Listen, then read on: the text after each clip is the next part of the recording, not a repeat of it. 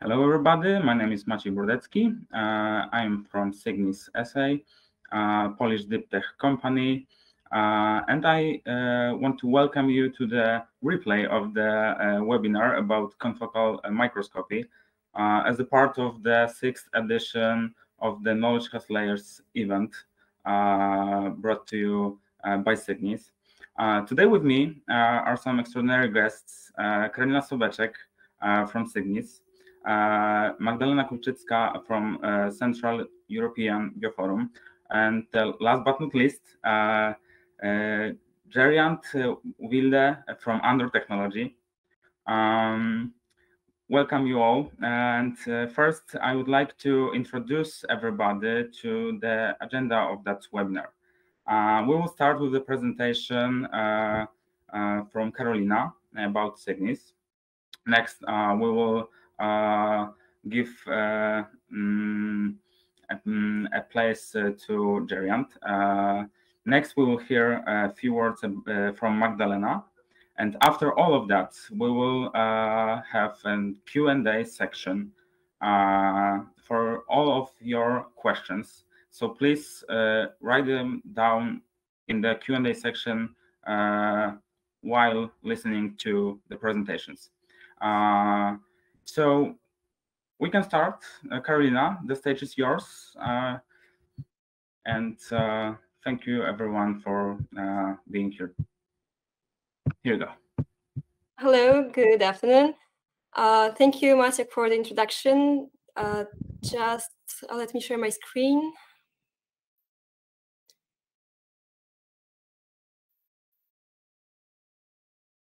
So can you see my screen? Yes. Great. So as Maciek said, I'm going to shortly introduce Sygnis.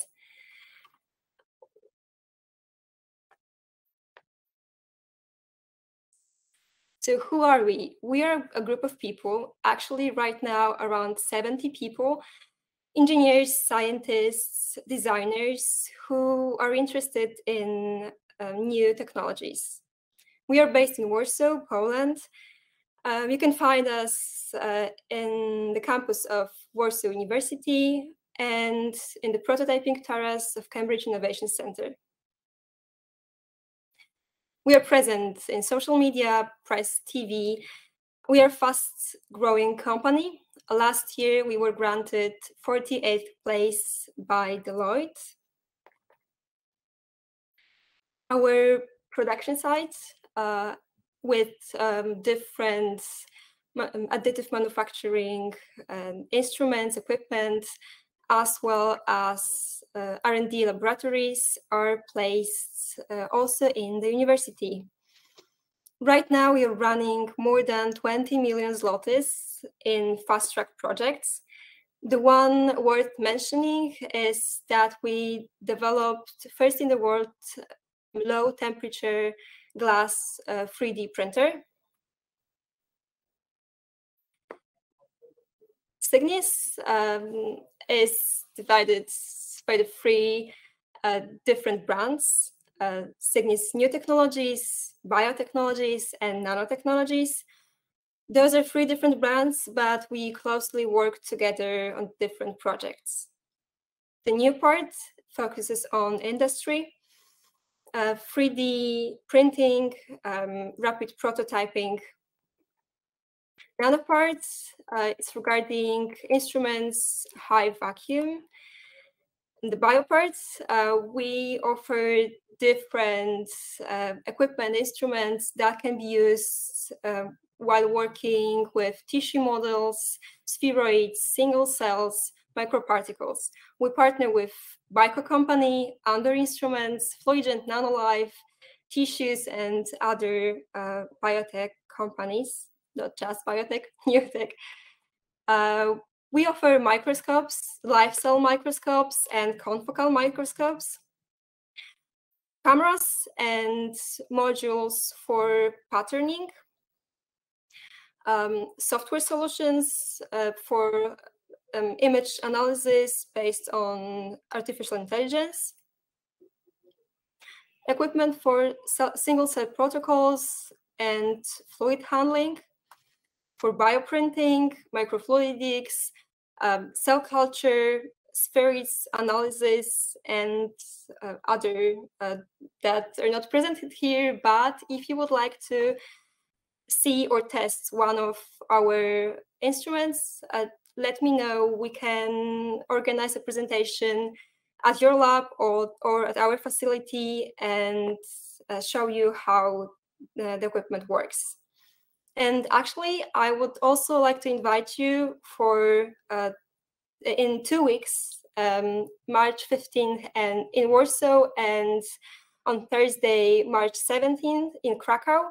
We will be hosting demo setups uh, about the confocal microscope that you will hear more about in a few minutes. So thank you very much and uh, have a nice webinar. Thank you, Karolina. Uh, so uh, just right now, I will give the opportunity for Geraint to show his part. Yeah, I, shall uh,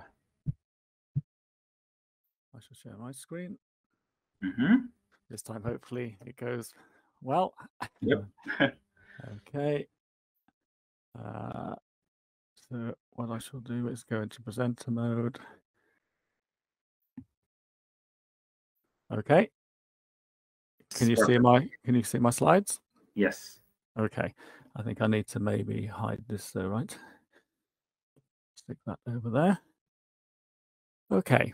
So um, welcome everybody. Thank you, Sygnis, for giving us the opportunity to present our brand new product to you. Um, it won't be just a simple product presentation. There'll be some more learning in terms of the technology, uh, for example. So uh, it's not just a it's not just a product presentation specifically. Um, so yeah, thank thank you, Maciej and Karolina. So the title of this presentation today is democratizing confocal microscopy and it's our new benchtop microscope that actually helps to boost productivity uh, in your lab. I'm Geraint Wilde, uh, as introduced. I'm the business and product manager for life science microscopy here at Andor.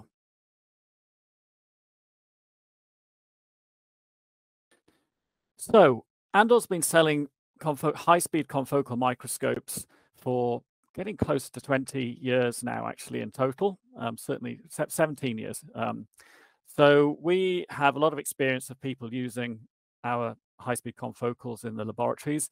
And what we noticed was that actually a lot of people use our um, quite sophisticated and relatively expensive, depending on uh, on your needs, um, confocal um, systems um, in fairly routine ways.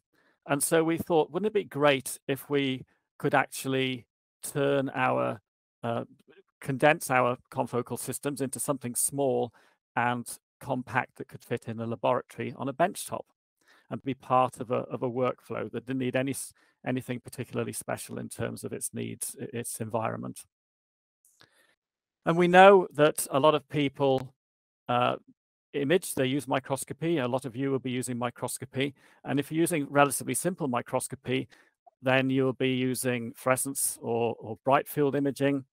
You may have, for example, sections that are quite thick that you often have to section thin so that when you put them on the microscope, you get the best detail that's possible. Um, and, and obviously, if you're having to section thick samples, simply to look at them under the microscope, uh, a section after section, and then rebuild them again to try and understand their, you know, how how this how your protein of interest or your structure looks in 3D. It's a painful process. It's it's laborious. It takes time. Uh, and the reason why people use, oh, I've got a timing issue here, apparently. Um, the reason why people use, um, actually bear with me a second, I'm going to switch. There's obviously something here that's uh, got a timing issue on it. I'm not sure why it's doing that. Uh, uh, okay, I think I found the I found the little tick box that was doing that. Sorry, my apologies. Um, so um, yes, so we thought the reason why people like a confocal microscope is it allows them to actually image samples and then optically section them as opposed to having to section tissue uh, and prep it before you then put it on the microscope. And after all, most you know, life exists in 3D. So why image in 2D if you have technology that allows you to image in 3D?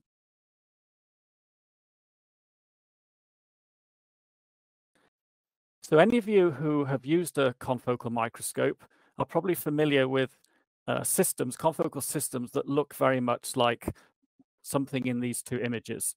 So they're quite complex, they're quite large, they're relatively sophisticated because they are capable of doing very, very clever and complex experiments. But as I said, they're very big, complicated. They're normally um, in a, a dark room in a specialized facility. So they're sort of excessive for routine imaging, fluorescence imaging. They're relatively expensive, both to purchase and to own.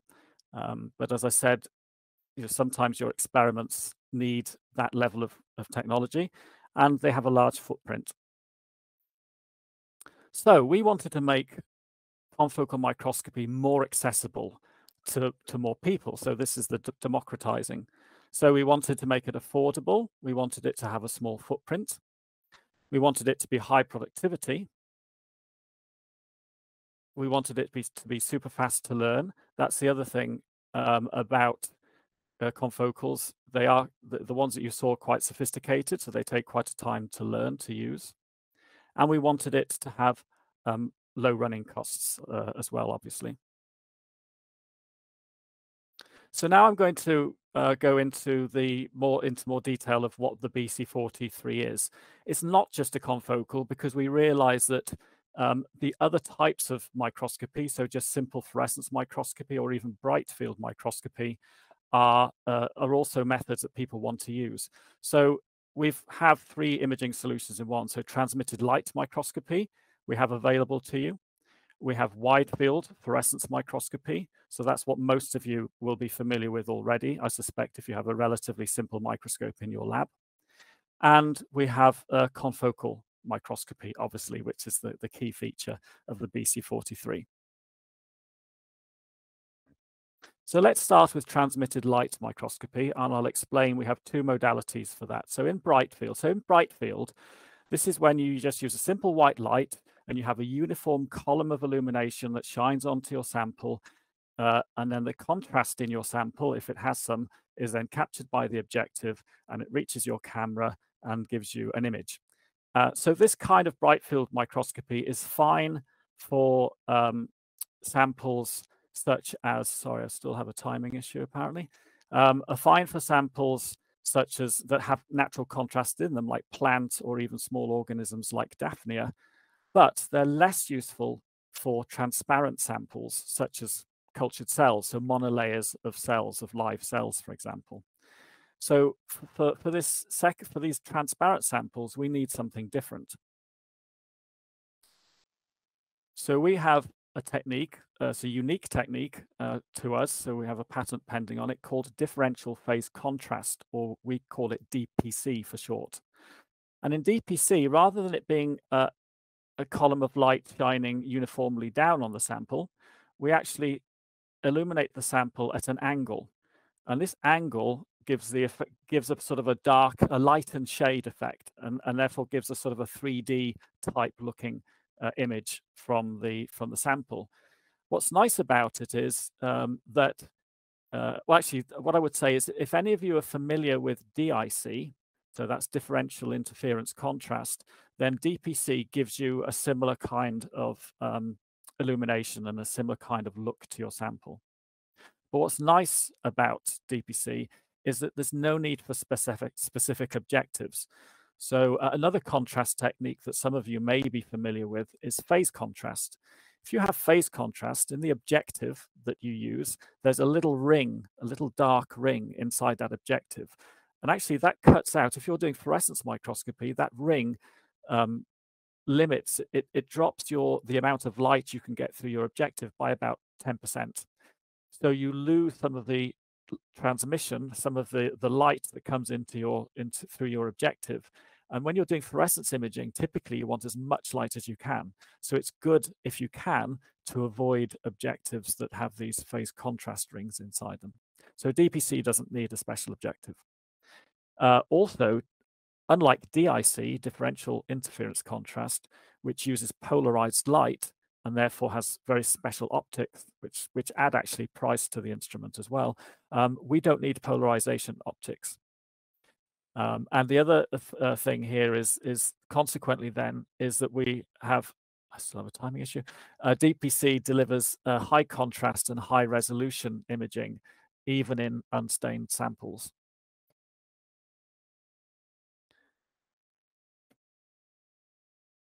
So I'm just going to, this is just a very quick example of um, DPC. So this, this is what DPC looks like. This is a solefish. And then this is the uh, fluorescence image overlaid over it. So I'll just go back again. So as you can see, DPC gives you this uh, detail of the whole head of the solefish here in quite specific detail. You can see the teeth, uh, you can see uh, the fins here at the top and uh, its its spine here. And then when you take an image of fluorescence, which is only going to label part of your sample, then the fluorescence image, you can see then the, the fluorescence signal still in the context of the rest of your solefish. So it gives you extra information, which is always helpful. And we can apply this to wide field or confocal imaging modalities as I said, they're more challenging than something big like that solefish are cultured cells. And here you're looking at cultured cells. This is in a multi-well plate, though we're imaging multiple wells, so you can see the images building over time. But you can see quite, see quite clearly that DPC allows the user to see the cells quite clearly. So I'll just play that again. So you can see cells that don't have any staining quite clearly, uh, as well as those that obviously are positive. They have, uh, in this case, red fluorescent protein uh, tagged to a protein of interest, and then they're watching it in their cell populations. So let's move on to uh, wide field fluorescence illumination. So this is one of this is the other modality, one of the three modalities that we have.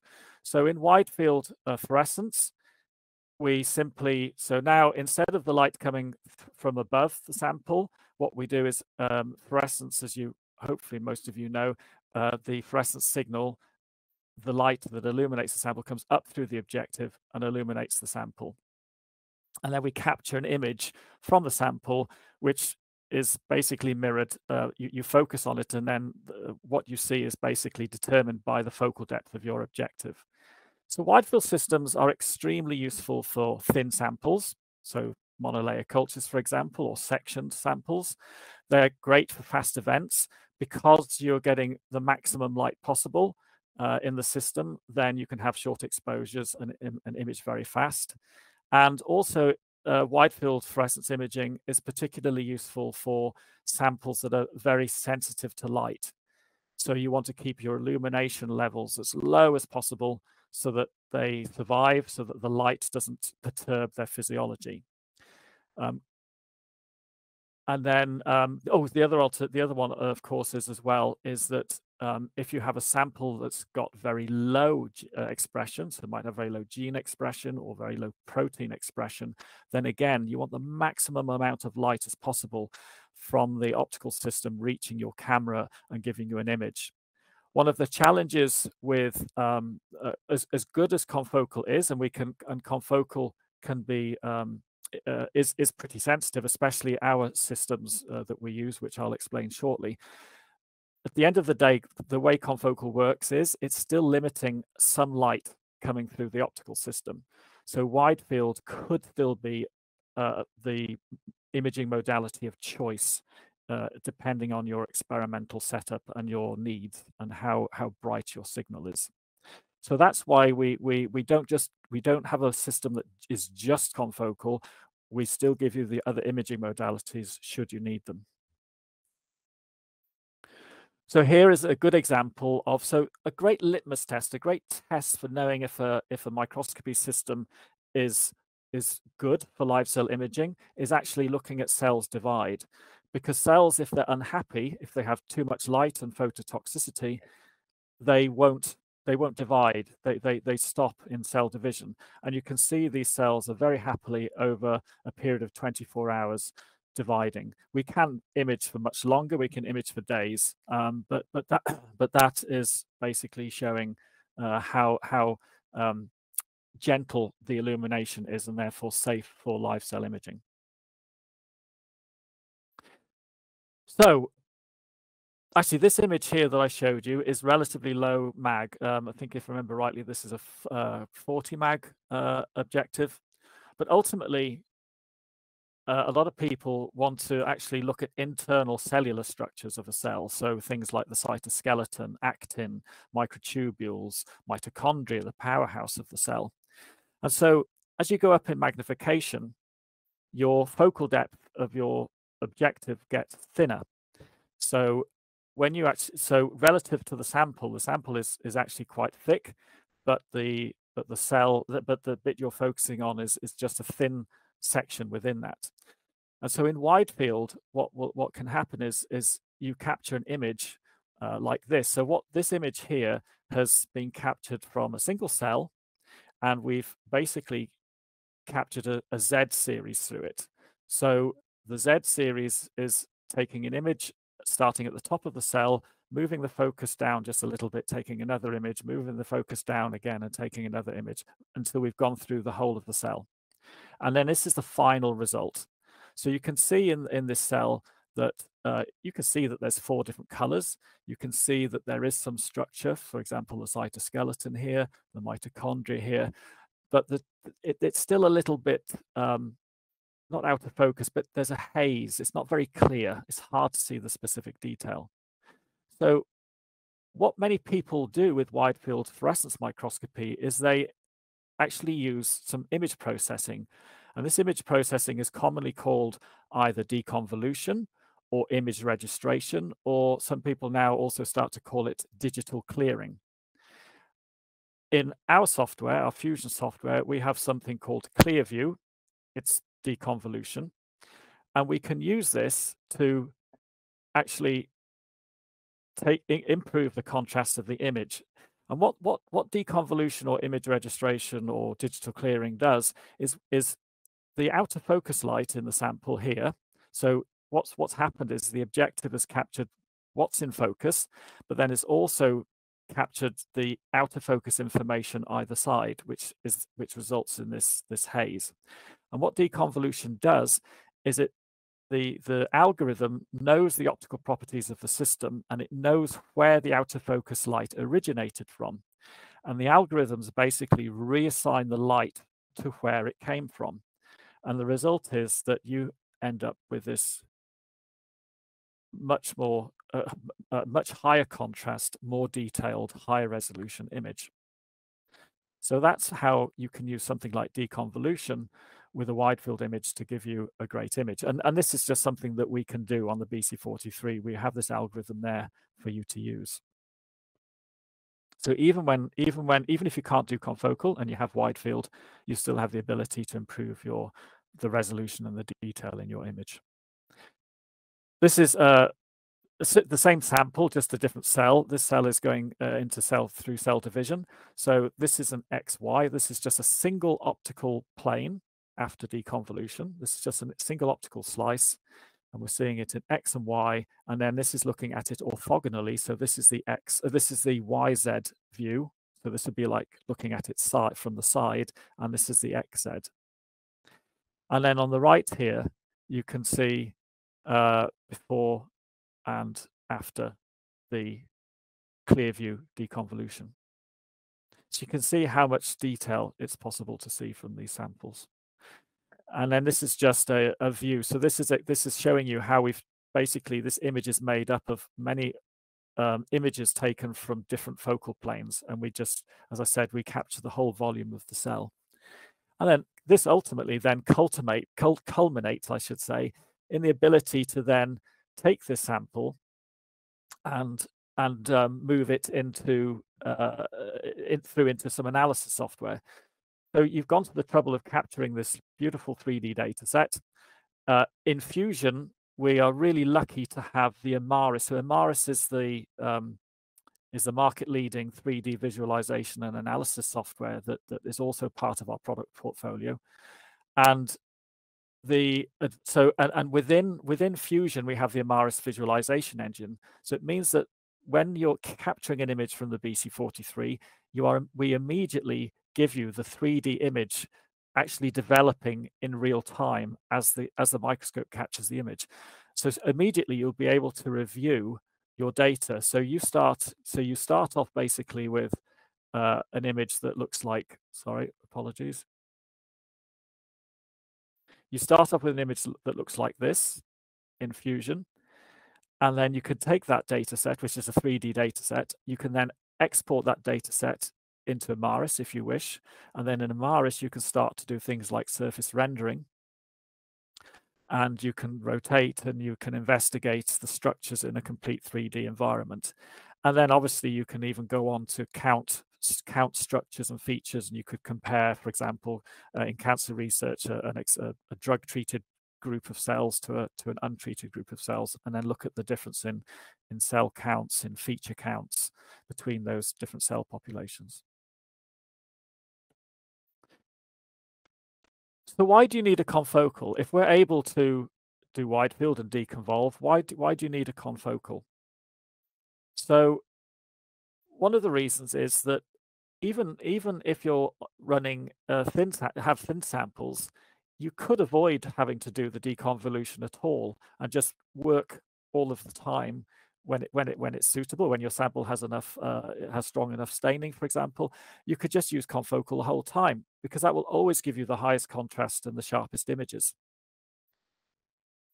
But when you certainly want to think about moving to confocal is when your sample becomes thicker than sort of 30 to 50 microns. Anything over about 30 to 50 microns, particularly at high magnification, starts to become challenging for the algorithms, the, the deconvolution algorithms, uh, in combination with the wide field fluorescence images. So as soon as you get to 30 to 50 microns or more, then you really do need to start considering confocal because the, the deconvolution algorithms uh, find it hard to work effectively uh, under those under those thicker conditions. So this is a good example. So this is a, the soulfish again. Uh, you saw a version of this before. And if I capture a wide field image of this thick sample, so this sample is 521 microns thick. If I capture this sample, uh, this thick sample here, this is what it looks like.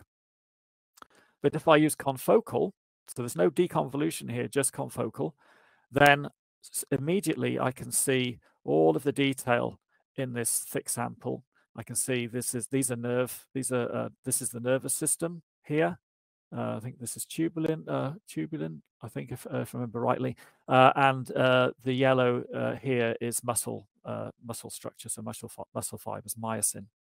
So you can see the difference between the wide field and then the clarity that you get in the confocal image. So this is why confocal really starts to benefit your research and your work. And that's the two images side by side. So in order to help you understand the higher productivity, so I've mentioned the fact that BC43 is a high productivity uh, solution.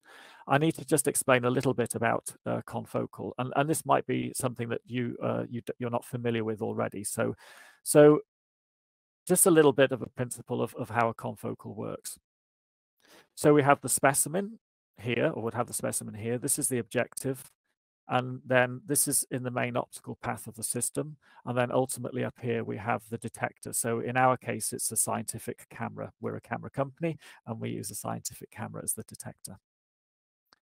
Now, in, in a confocal, like normal fluorescence microscopy, you have a light source that needs to excite your sample at a short short wavelength. So, for example, 488 nanometers uh, for GFP. Um, and uh, in the case of a confocal, that light source is a laser. So the laser, uh, the excitation light will will bounce off a dichroic through the objective to the sample, and then the light then from the sample comes back at a longer wavelength through this dichroic, and then through to the other side of the optical system, uh, optical path. Now, anything that's out of focus, so this this this uh, orange this red orange line uh, here is considered out of focus information. Anything that's out of focus, when it gets to the other side of the dichroic, what we have in a confocal and critical to a confocal is a pinhole. So this is the pinhole here, and any out of focus light actually gets blocked by this solid mask either side of the pinhole. And it's only in focus light so this is the green line here. It's only in focus light that's able to pass through the pinhole to the detector, in our case, a camera. So that's the working principle of a confocal. The key bit here is that we have a pinhole that only, only allows in focus light through to the detector. There are different types of confocal. Probably the one that most of you, uh, if you've used one, are familiar with would be the point scanning confocal. But there's also another increasingly popular uh, and very long-standing technology called a multi-point confocal or spinning disk confocal, and that's what we have in the BC43. But let's go back to the point scanner for a second.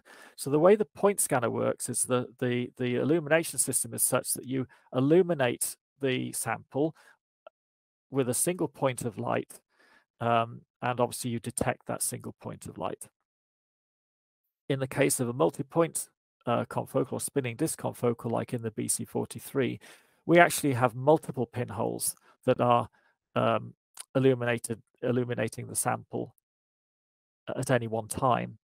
And so this means we get more light uh, through to the system and hence it becomes more productive. The next slide will show you this in more detail.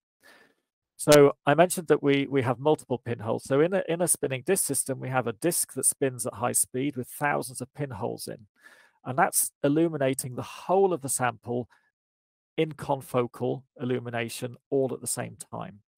In the case of a point scanning confocal, as I said, it's one point of light that's hitting the sample. And then what happens is that point of light is scanned from left to right and then down through the sample over time. And the consequence is that unlike the spinning disk where you get an instant complete image in confocal, with a point scanner, you'll the, the image develops a line at a time.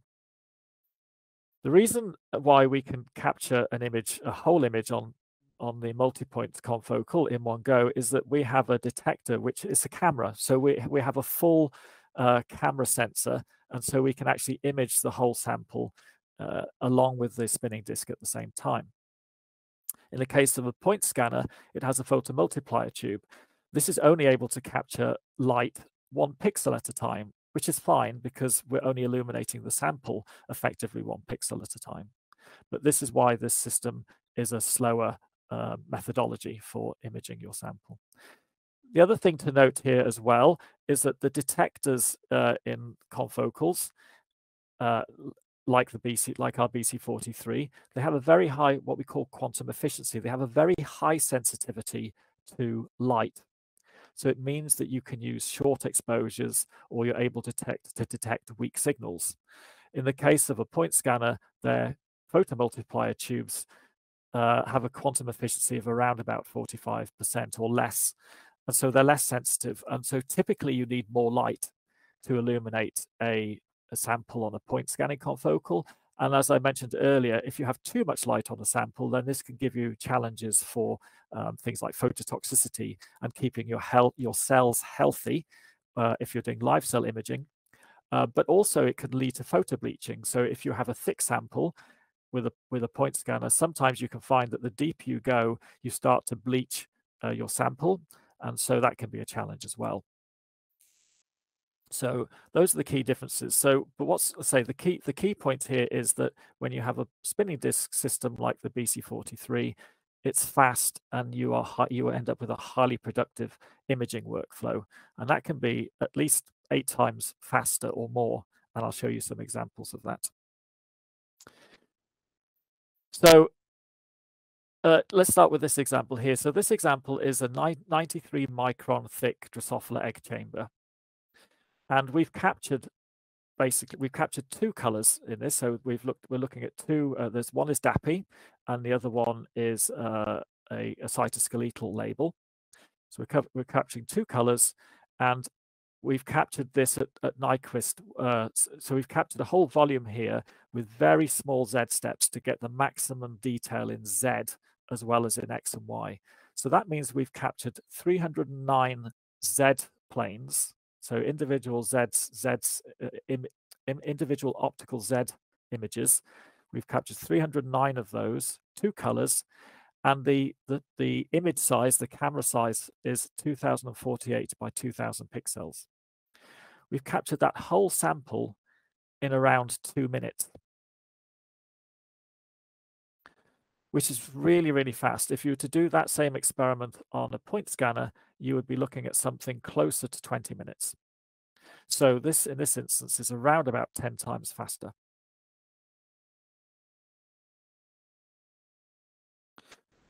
So that's the productivity. Now, obviously, the other part of the productivity is being able to bring the BC43 into your lab rather than it being in a specialized room that you have to that you have to travel and take your samples to.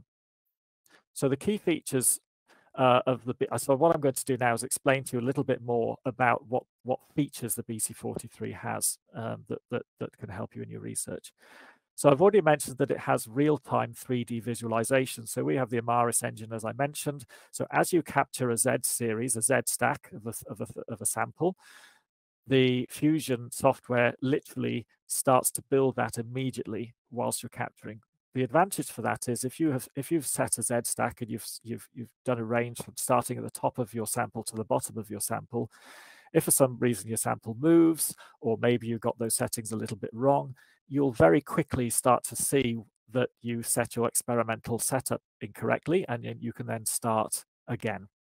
Uh, in a lot of systems, you would it, you you would maybe not realize that until the end of the experiment. It has uh, sorry, it has four laser lines. So these are the excitation lines. So 405, for example, for DAPI, 488, which would be GFP, um, Alexa 488, 561. So that would be things like DsRed, um, Alexa 560, um, and then 637 nanometers, so for Cy5 and Alexa 640, for example. So this will cover all of the main, all of the, the key dyes that a lot of people use routinely. We have a, a patented form of illumination in the BC43 called Borealis. So Borealis means that we, we are able to put the best uniformity of illumination uh, on the sample uh, which is useful because if you don't have what good uniformity, if, for example, you're uh, wanting to uh, analyze intensity of, of the signal of your fluorescence probe as a means of measuring um, the presence of a protein or something like that, if, if you're not uniform across the full field of illumination, it makes actually analysis and then interpreting that data challenging. Borealis uniformity is also very important for when you're wanting to do image large samples. So often you'll have samples larger than just the single field of view that you're looking at. So what you want to do is you want to take tiled images and then stitch them together into a bigger image.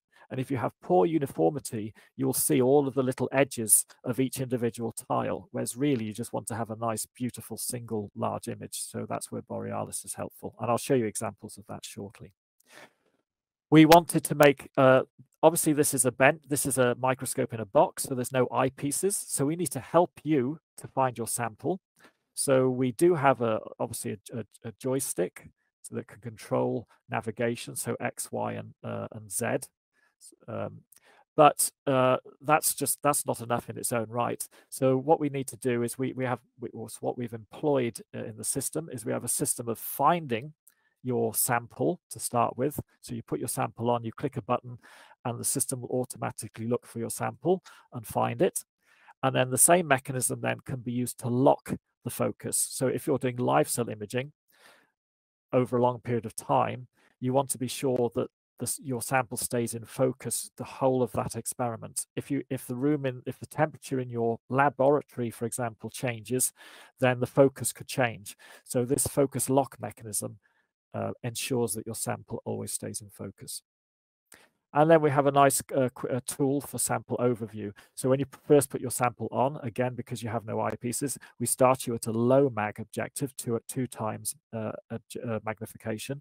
And then you're able to do a large sort of sample overview uh, specify where you want to image, and then when you go to the higher mags, uh, you you, you'll you'll be in the in the spots in the area that you want to image.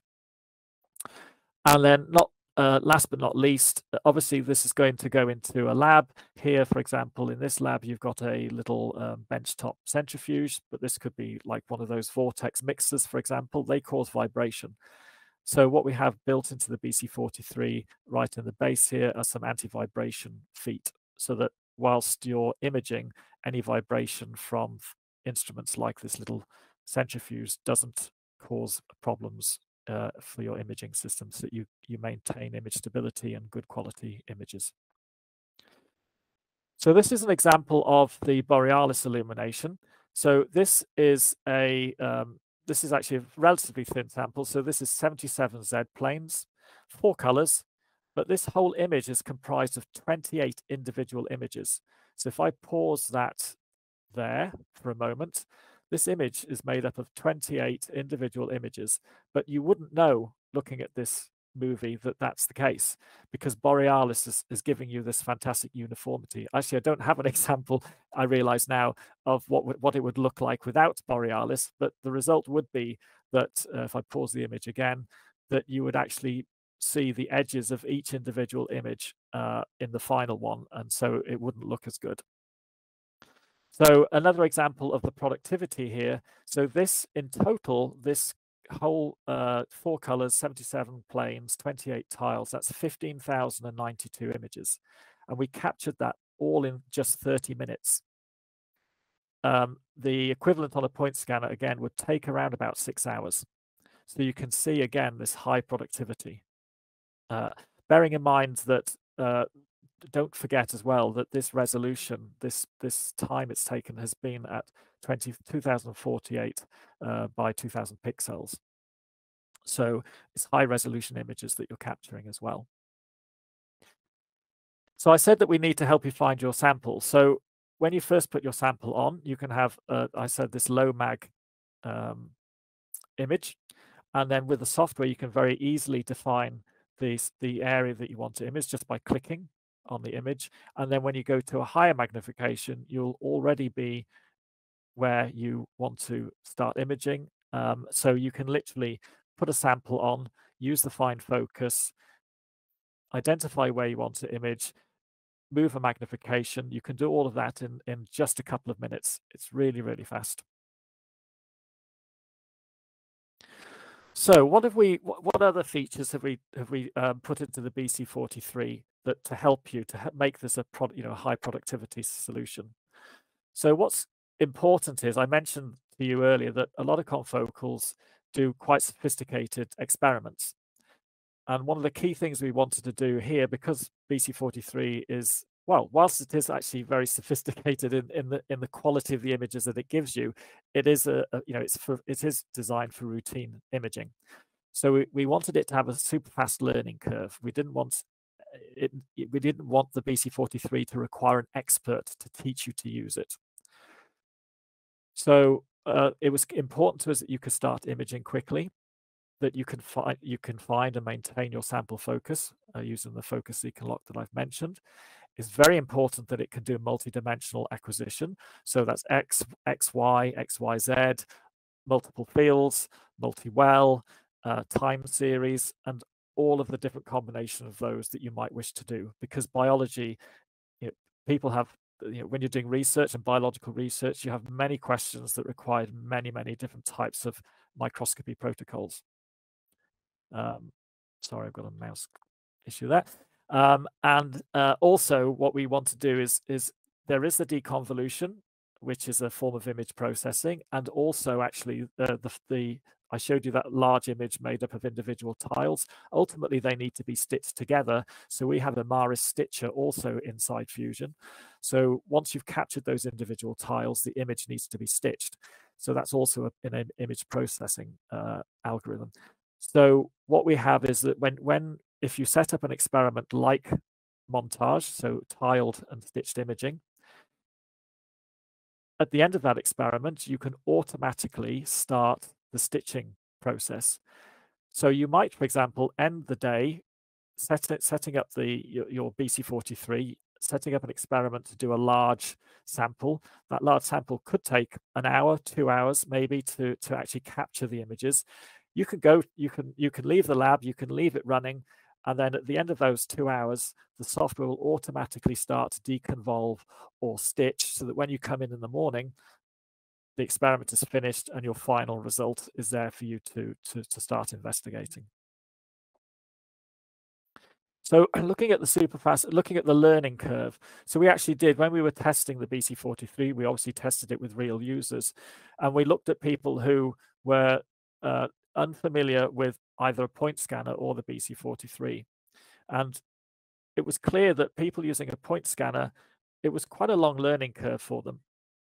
Um, it's, it's it's not necessarily a, an issue with with the point scanners um, themselves, but as I said, they you know they are instruments that are that are designed for quite complex experiments uh, and so consequently the software can be quite sophisticated as well and, and can take some time to learn uh, but in the case of the BC43, we've tried to make the software interface so, so really simplified and condensed and, and, and, into a nice workflow. And so people were able to, with just a few uh, tutorial videos just to get them going because we tried to not get involved in teaching them. There were just some tutorial videos. We found that even within an hour, they were able to do most of the uh, image, most of those key, uh, so use most of those key imaging protocols. So like um, the time series and the Z stack and the multi-field, for example. So it does have a super fast learning curve. Uh, it doesn't require an expert to teach you how to use it. So I'll just give you a very simple, uh, uh give you a sense of the Fusion interface and the workflows that we have. So this is just setting up a Z stack. So you put your sample onto the BC43, it finds the focus, and you you can take a single snap, or you can take something like a three by three quick montage if you wanted to image a bigger area.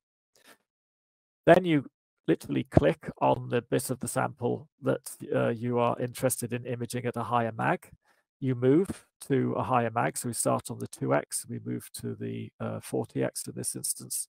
And now we're able to see the Drosophila embryo uh, at a higher magnification.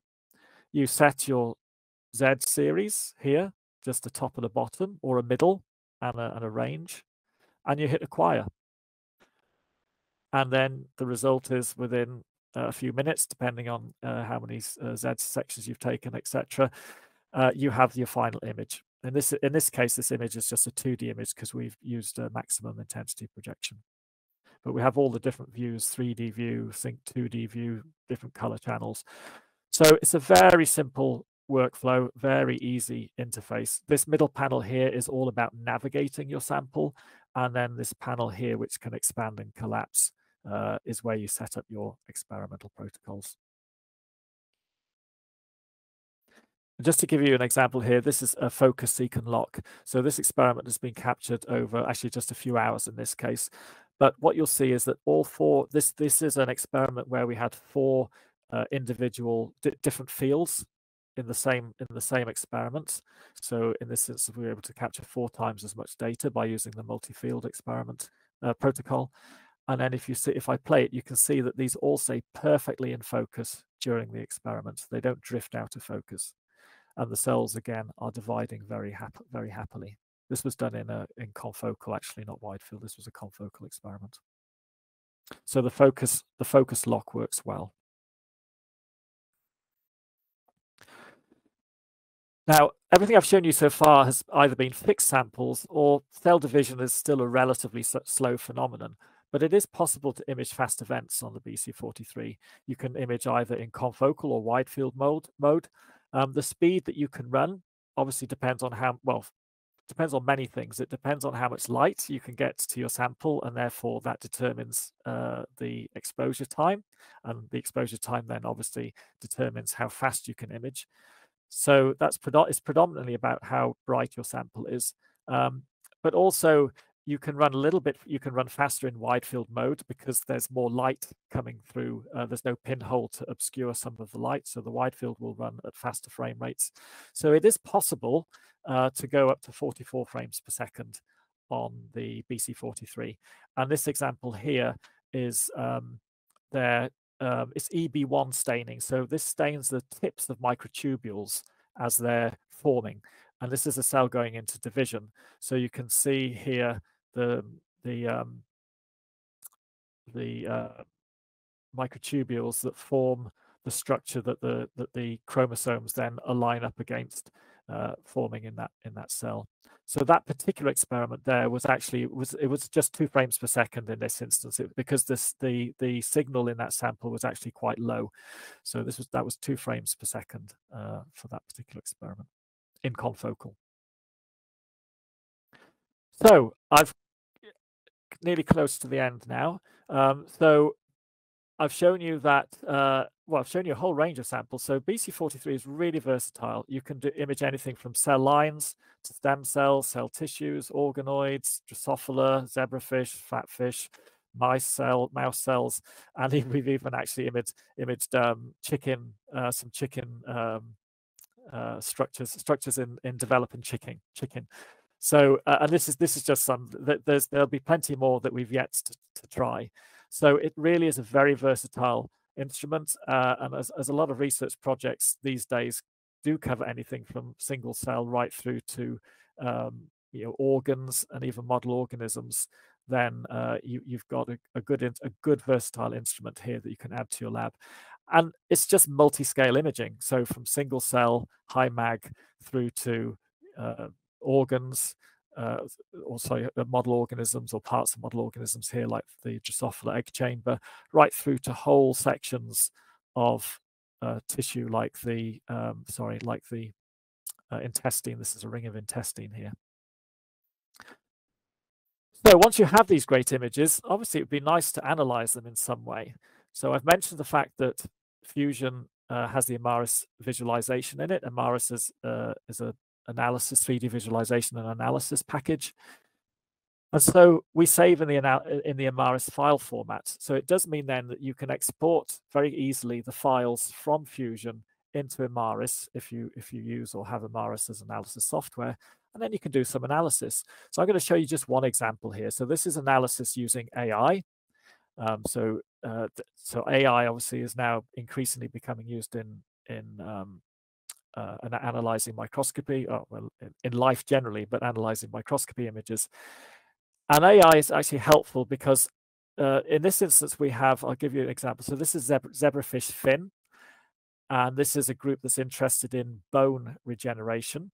So what they do is they they've damaged the bone in the in the fin of the zebrafish just here, and what they want to do is they're interested in the bone regeneration, which is the pink area, uh, and also the cells. So these are osteoclasts that are uh, involved in bone resorption. And these osteoclasts are, are, crucial to how bone can repair and then uh, re regenerate.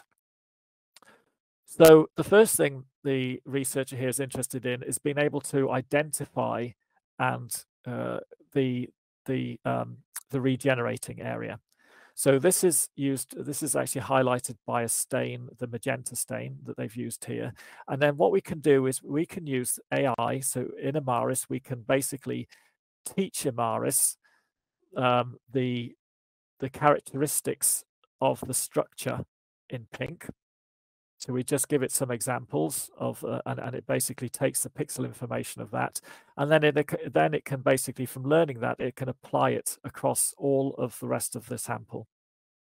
So it's, say, it's easier than somebody drawing a region and playing with intensity levels. It's just a much faster way to do this and also more robust. So the result is that having done that, if we look to the right-hand image, you can see how the so this outline here is how Imaris has taken that information that it's been taught and it's automatically identified all of these bone regenerative areas in the sample. So in this slide, if you look at these two images on the right, just I've taken away the raw image so that you can see quite clearly what it is that Imaris has, has picked out and characterized using the machine learning, the AI. But also what we've done here is the researcher is interested in these osteoclast cells. And of course, what they are, they're interested in, in the behavior of these osteoclast cells. So I guess the predict well the prediction would be that where the bone is is being regenerated, you would anticipate there to be more osteoclasts and a higher density of osteoclasts, and that and that in this at that and that in some way this would reflect the regenerative uh, activity in this experimental model. So what we've done here is Imaris is able to do spot detection. So we can we can uh, get Imaris to uh, auto, Imaris to automatically identify every individual osteoclast, osteoclast. And then what we've done is we've color coded them based on either distance from this uh, from from a from a, a magenta stained area or uh, the density, how how close they are to one another. So one is distance away from an area, and then the color coding here is based on the density of them. And it can be whatever measurement is relevant to your experiment. And then uh, moving on, just to make it a little bit, uh, so, so, another step here then is that, again, going back to the segmentation uh, and machine learning, we've not only identified in the first step the magenta stained area, but what we've also done now is we've also uh, taught Imaris to set, a, let's say, an outer boundary related to each of these positively uh, stained bone regenerative uh, regions of the sample. And by doing so, we can actually more meaningfully then uh, only include osteoclasts that are within the boundaries relative to each of these individual recovering, regenerating bones. So if we move to the right, what you can see is that remember that that the the damage, uh, the original damage to the fin is in this area here. And so what we can see is that this area on the left hand side is has um, started regeneration, let's say, a longer time ago.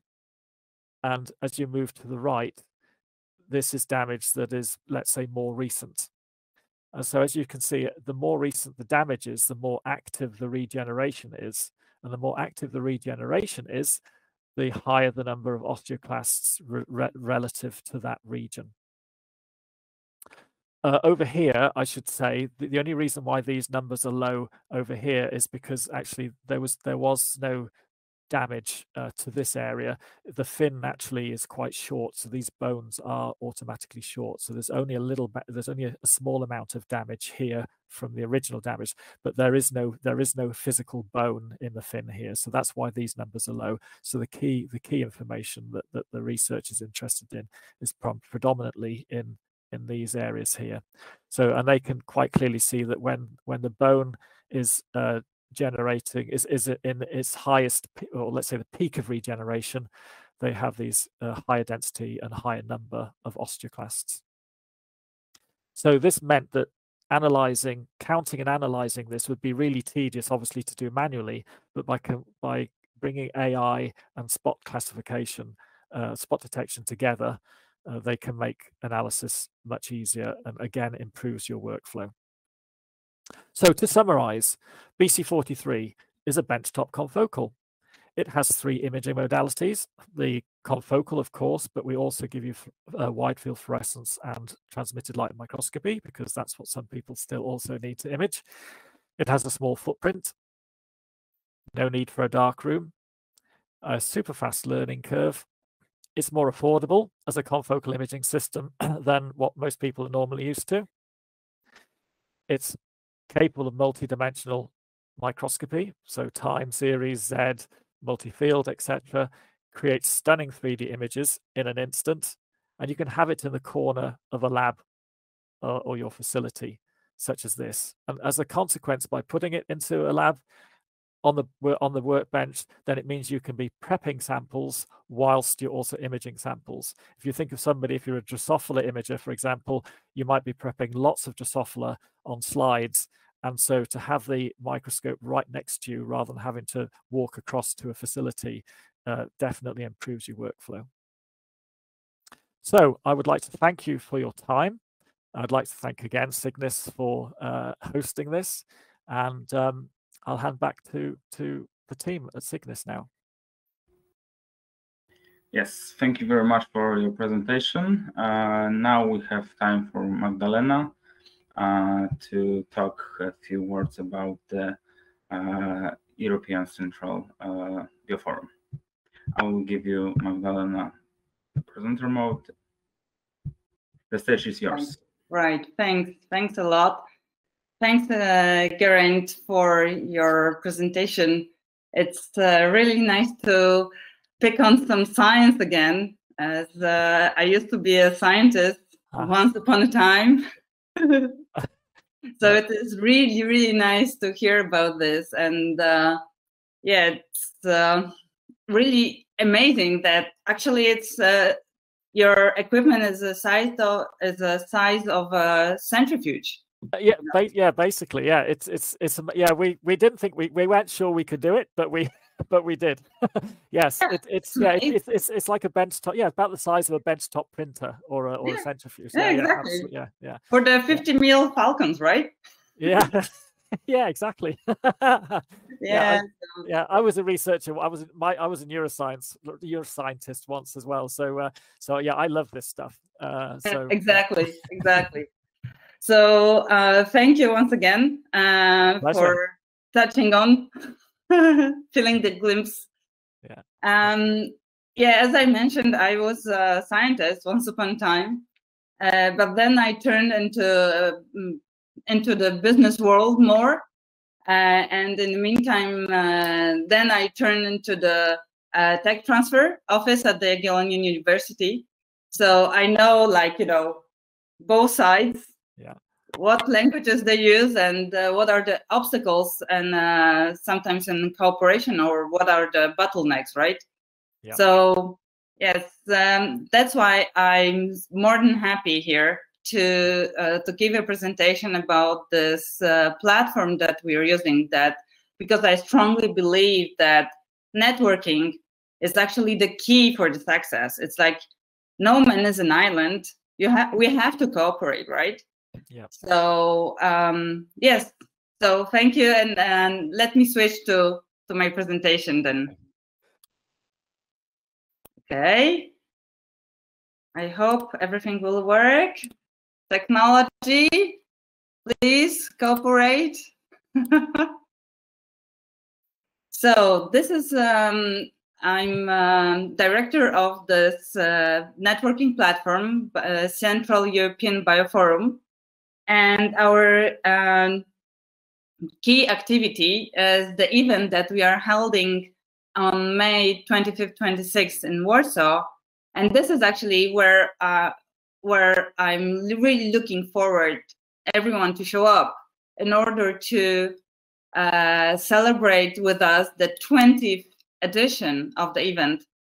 Uh, and also in order to, uh, as I mentioned before, to you know to gather all the stakeholders uh, in one spot in order to share the ideas and experience.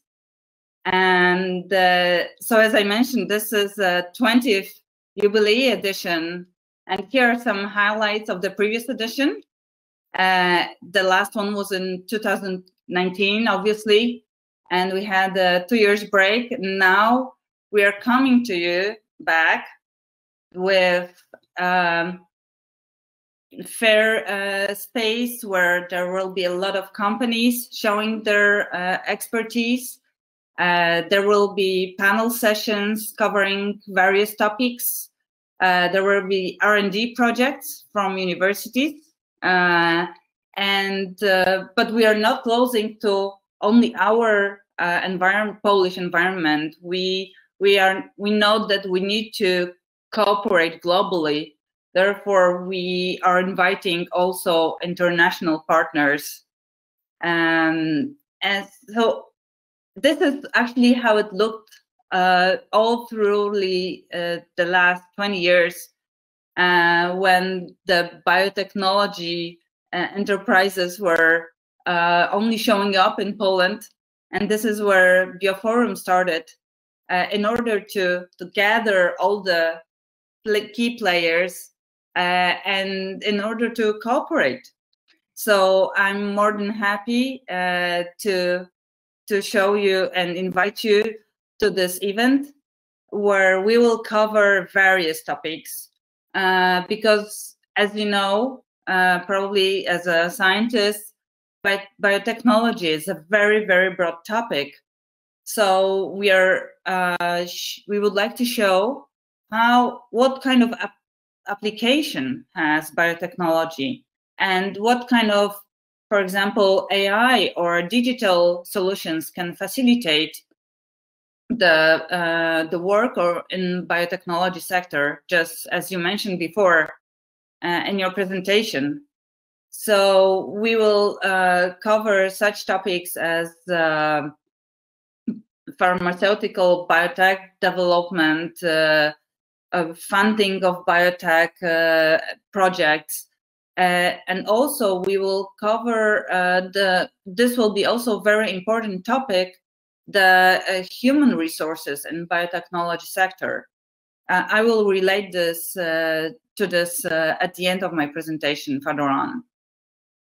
Um, so here, um, those topics that I mentioned before are uh, gathered uh, in our preliminary agenda, where you can see that what kind what kind of discussions will be gathered during our event. It's a two-day event so here's the agenda for the day one and for the day two.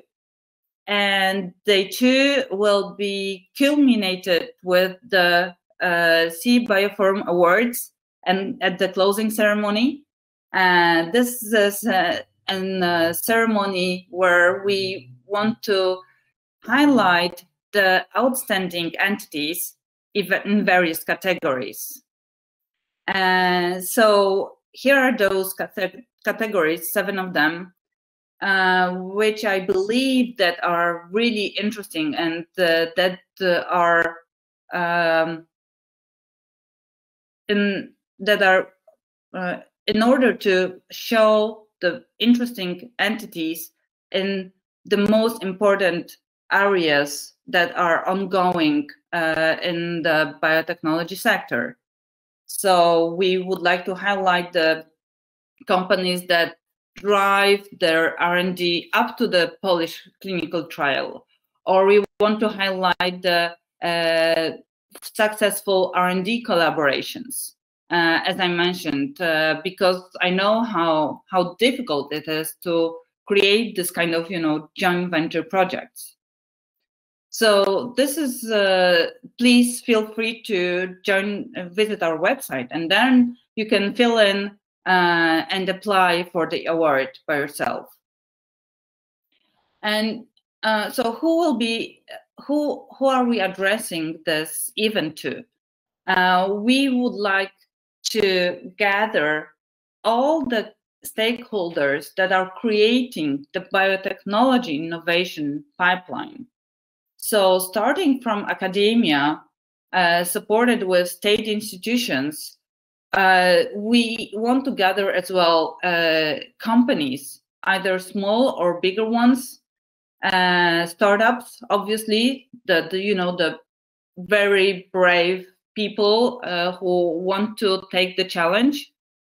Uh, and of course, we we need some some some some financial support for those startups or any initiatives.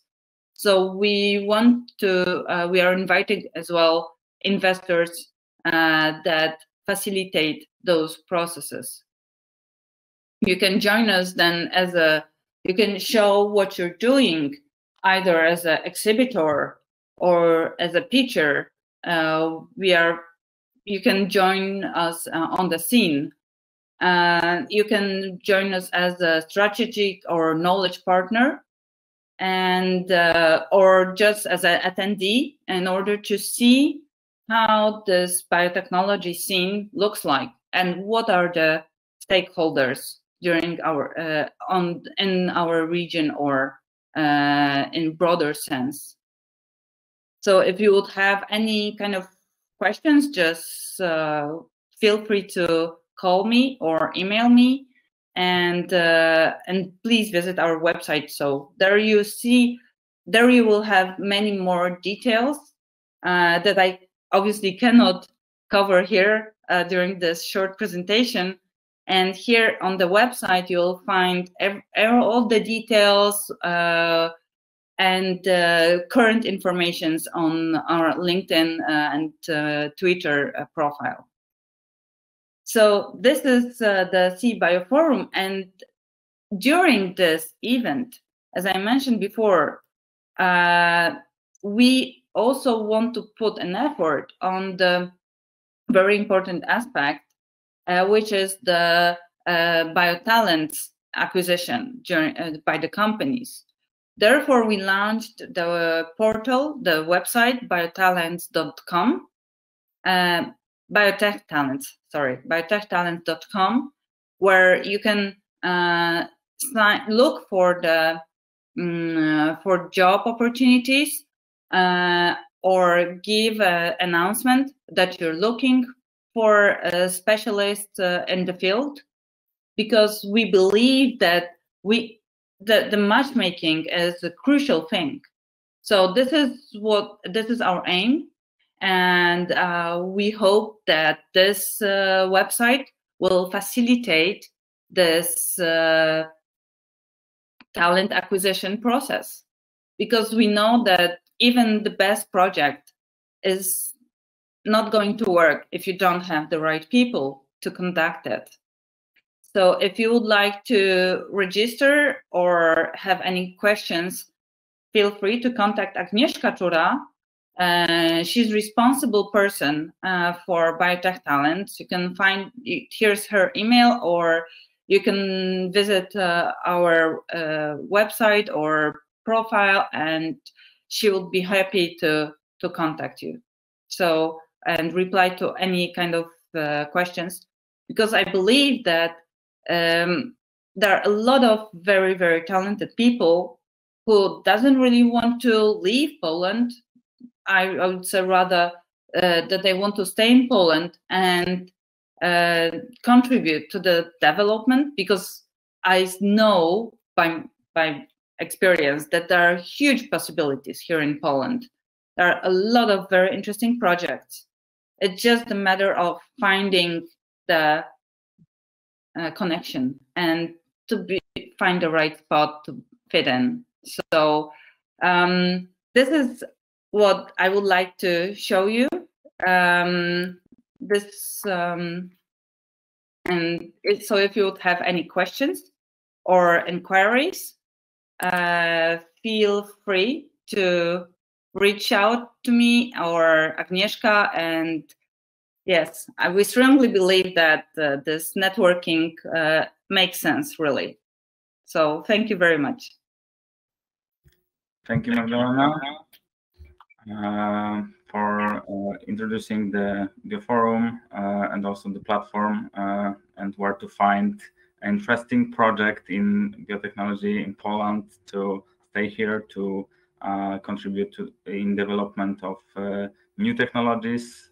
Uh, so um, right now, uh, I want to ask our attendees uh, for any questions in the Q&A section. You can write them uh, right there on the left side. we will be happy to answer them. Um, maybe we will give you a, a few minutes to um, to get back in the memory uh, and and write the questions uh, in the Q&A section. Uh, if not, I am uh, strongly uh, inviting you to write to us, uh, to Sygnis, to also to Andor, with any questions about confocal microscopy, any questions about Bioforum, and questions about Sygnis, of course. Um, so I will give uh, like uh, three minutes for any questions occur. Uh, thank you again to uh, all of three participants uh, uh, in this webinar. that was a very exciting presentation. we learned a lot today. Um, and I hope that we will meet also uh, on other occasions to show another technologies uh, and other achievements also. Yeah, happy to come back. Oh, question. Yeah. Surprise. Uh, Karolina, you mentioned about the presentations of the of the equipment that are going Yeah. to take place in March.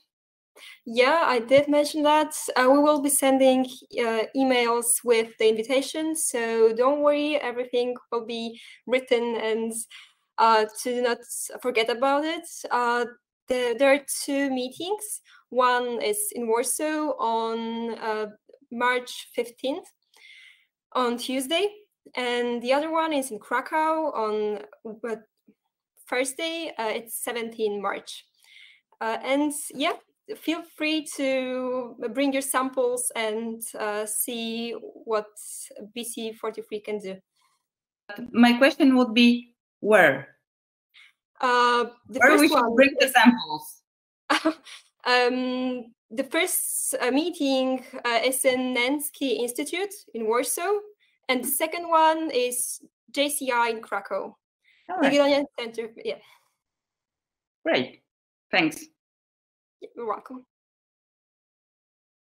Sadly, I won't be. I, I, as I was saying to Karolina earlier, sadly I won't be there because I, I, I don't, I don't know. Well, we have so many demos going on, uh, and uh, yeah, I'm, I'm stuck. Well, I'm stuck in here in my home office actually most of the most of the time at the moment. Uh, but But uh, they yeah. but they let you out from time they let time. me out every now and again. Yeah, yeah, Yeah, yeah, yeah, That's yeah. great. No, I do. Actually, now it is good. Actually, we're starting to able to to travel and and uh, No, lab, just kidding. lab labs are a bit easier to no well it's been it is true it's been a bit like that so so uh but now it is easier so i have started to do some travel recently Ah. which is which is nice Yeah. Yeah. On the road again, huh? oh yeah kind of yeah i mean i love my family but it's good it's good to get it's good to get away stop, stop recording. I will. um, okay, I, I didn't see any questions uh, in the Q&A section, uh, maybe just because the presentation was so full of information or so completed. Uh, so uh, again, thank you very much uh, for being here today.